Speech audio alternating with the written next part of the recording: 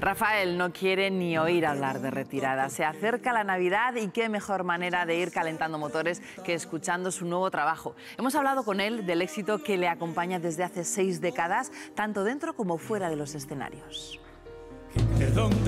60 años de carrera para celebrar con un disco, Rafael y la victoria.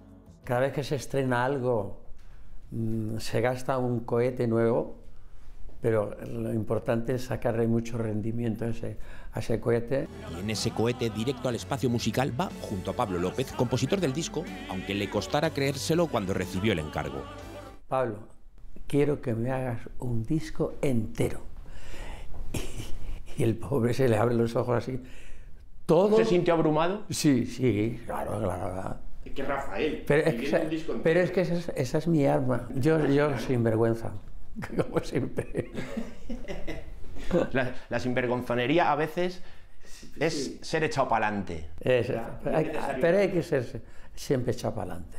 Otro de sus secretos es cómo cuida su herramienta de trabajo, esa voz genuina, y no de ahora, ya lo hacía cuando ganó el Festival de Benidorm con 17 años. El resto se fueron a la playa a disfrutar porque Benidorm pues tiene, es, tiene mucho tirón. Sí, no, y sobre todo para los chicos de 17, 18 años, el, el que algo quiere algo le cuesta, y entonces yo prefiero cuidarme para después salir y que la gente diga, vaya, y los demás están mudos porque han estado todo el día en la playa.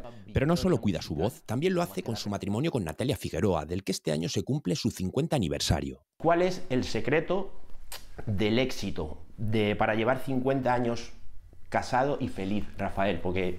No tengo ni la menor idea. ¿Es una suerte, digamos? No, no, suerte no. Yo le llamo de, de tener oportunidades de poder demostrar quién eres, ¿no? Pero eso hay que trabajárselo, ¿eh? hay que trabajárselo. Y no caer en la rutina, entonces. No. 84 discos y medio siglo casado después, Rafael sigue siendo aquel que disfruta de su trabajo y de su mujer como el primer día.